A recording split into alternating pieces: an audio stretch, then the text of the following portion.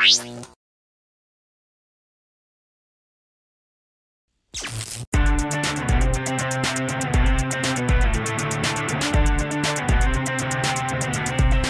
right, so um, the facility itself, uh, you'll notice that uh, we were named the Conrad Center.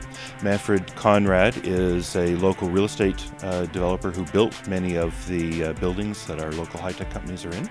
Uh, and he made a generous donation to us a few years ago that allowed us to move into this space which of course has the benefit for us and our students of having the accelerator center downstairs where some of our uh, student companies can migrate afterwards if they're, if they're up to that level.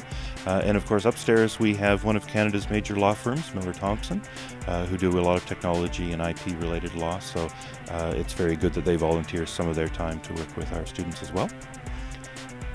The, um, the outside um, offices, of course, but uh, more importantly, on the inside, we have a whole series of breakout rooms uh, for the students to work with.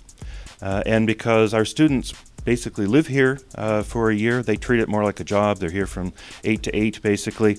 Uh, we have kitchen facilities for them. And uh, one of the unique things about our students is because they're all in the same room and they're all here together all the time, unlike a program that's housed in, say, a large business school where the students are at different times going to different rooms and things like that.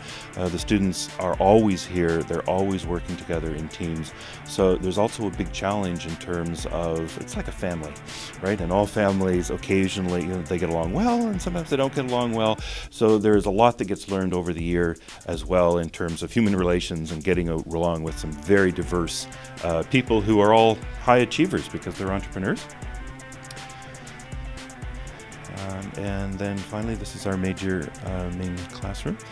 And the group who are in here today is the group that I was telling you about before. They are uh, young first year engineering students uh, who are with us for the summer. We're giving them a business overlay in about uh, two weeks.